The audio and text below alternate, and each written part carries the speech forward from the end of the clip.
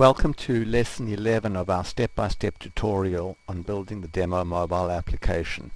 Where we left off in lesson 10 uh, we had added a uh, temporary search button uh, to the uh, header of the uh, customer list panel and when we clicked the uh, button, this temporary button, that opened up the search panel.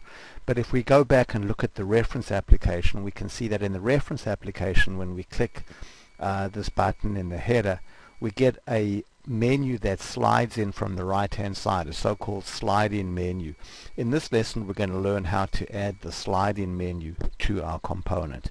So let's go back now uh, to um, to our component uh, where we left it off at the end of lesson uh, 10. If you don't uh, have that uh, component available you can switch to lesson 11 and then go to the lesson 11 start component.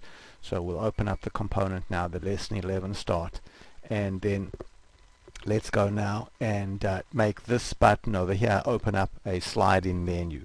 So in order to do that, we go back to design mode and then scroll down to the very bottom of the screen and then at the very end we're going to add a new uh, container window and we're going to call it slide-in menu. So scroll all the way here to uh, containers, open up the container section select container and then choose the window container type and then uh, go ahead here and click the insert after button.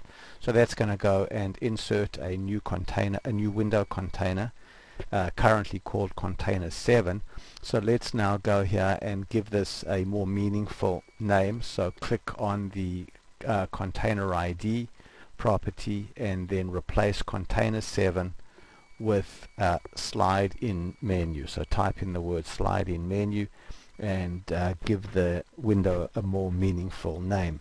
So next, in order to actually uh, display our menu, we're going to use a list control to actually display the menu items.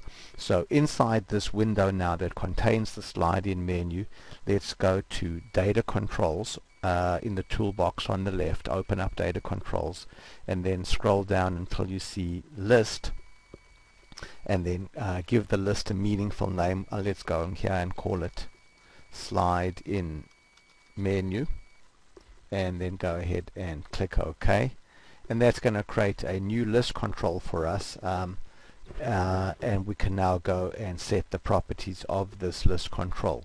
So the list control is actually going to have the menu items that we'd like to appear on the menu. So we'll go back to the list control uh, in the properties pane on the right hand side and then click the smart field for list properties to bring up the list builder. So this list is not going against a SQL database um, uh, but it, it's just using a list of static items which represent our menu items.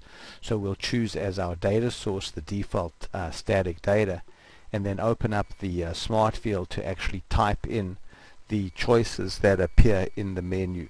So the uh, first row needs to be the column title. So the column title that we want would be, for example, something like menu choices then the first um, menu icon that we want is going to be search so type in search and then carry on typing the rest of the items until you have your list that looks like this. So you'll have the first row is the column title is menu choices so that's somewhat arbitrary um, and then here are the actual items that appear in the list. Search new customers, orders, employees, etc.